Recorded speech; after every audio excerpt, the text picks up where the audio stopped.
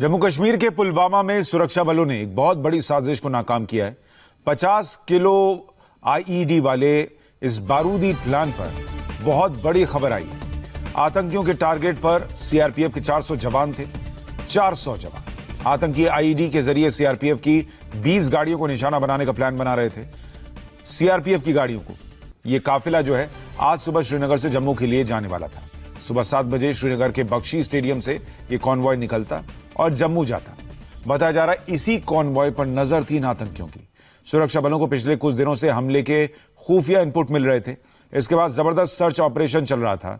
नाकेबंदी के दौरान 50 किलो आईईडी से लदी कार ट्रेस की गई। पुलवामा पार्ट टू दोहराने की साजिश थी। चौदह महीने पहले आपको याद होगा सीआरपीएफ की बस को उड़ाने के लिए 20 किलो आईडी का इस्तेमाल हुआ था। इस बार 50 किलो आईडी थी, यानी उससे भी ढाई गुना ज़्यादा। इसी से आप अंदाज़ा लगा सकते हैं कि साजिश कितनी बड़ी थी। सबसे बड़ी बात यह है कि आज सीआरपीएफ के काफिला में, काफिले में जवानों के साथ बड़े अफसर भी जम्मू जाने वाले थे। सुरक्षा बलों की मुस्तैदी की वजह से यह हमला टल गया है। रात को गाड़ी पकड़ ली गई। रात में ही पूरा इलाका खाली कराया गया। सुबह छह बजे कंट्रोल ब्लास्ट हुआ और सिर्फ़ 90 मिनट में मलबा समेट लिया गया। रास्ता क्लियर कर दिया गया। जम्मू कश्मीर पुलिस के आईजी विजय कुमार ने खुलासा किया कि इसके पीछे जैश और हिजबुल के आतंकियों का हाथ था। आतंकियों के टारगेट पर सुरक्षा बलों की गाड़ियाँ थी। साफ़ है, चौदह महीने पहले हुए पुलवामा की तरह फिर एक बार हमले का प्लान था। पुलवामा पुलिस को पिछले वीक वीक से लगातार खबर आ रहा था कि मिलिटेंट्स जैश मोहम्मद और एचएम मिलकर एक सुसाइडल अटैक करने वाला है और एक सेंट्रो कार लिया है, उसमें आईडी भर के एनी टाइम अटैक कर सकता है।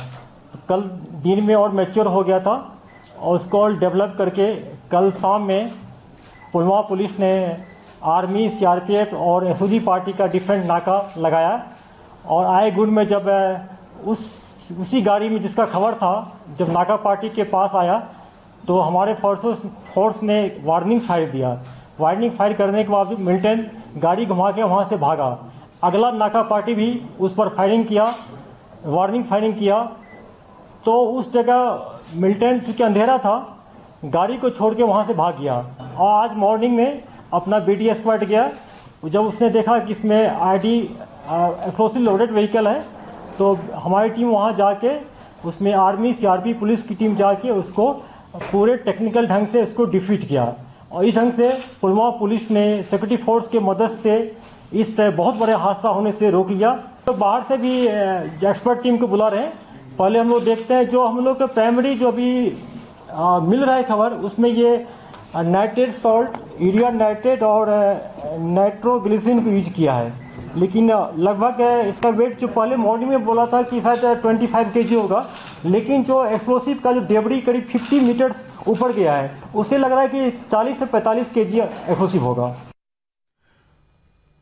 पुलवामा में सुरक्षा बलों ने बहुत बड़ी साजिश नाकाम कर दी और इस साजिश में पाकिस्तान के बॉम्ब एक्सपर्ट वालिद भाई का नाम सामने आ रहा है।